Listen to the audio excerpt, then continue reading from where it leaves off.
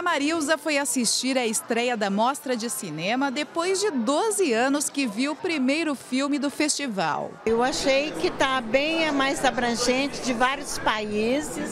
Isso me agradou muito e vários tipos de filme. Né? Isso é muito importante. A 12ª edição da mostra O Amor, a Morte e as Paixões exibe 90 obras de 26 países diferentes.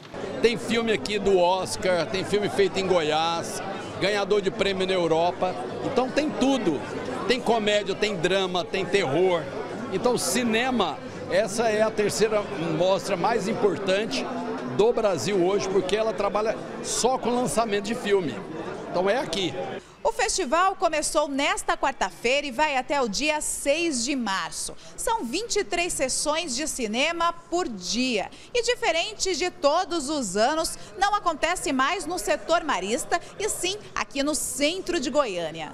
A mostra vai exibir todos os filmes indicados ao Oscar deste ano. Além disso, conta com nove longas goianos. Entre eles, o premiado filme Vermelha, que estreia no próximo sábado.